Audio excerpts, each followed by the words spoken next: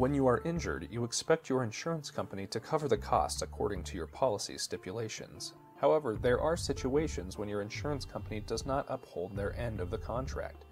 When this happens, your insurance company is acting in bad faith. Insurance companies are acting in bad faith when they do some or all of the following things fail to investigate your insurance claim, refuse to settle your insurance claim, unreasonably translate your insurance policy, fail to reimburse you according to the policy limits, delay your payment, or unreasonably deny your claim. Getting the runaround from an insurance company is not only unfair, it may be against the law. Our civil court system provides protection for insurance consumers whose insurance companies have failed to honor their policies.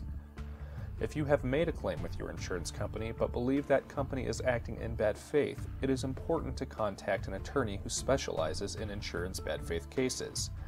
Our attorneys know how to handle insurance companies and are not afraid to take them on.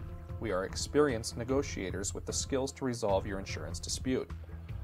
You do not need to battle your insurance company alone. Contact our law firm today for a free case evaluation. Protecting your rights and securing fair compensation is our only priority.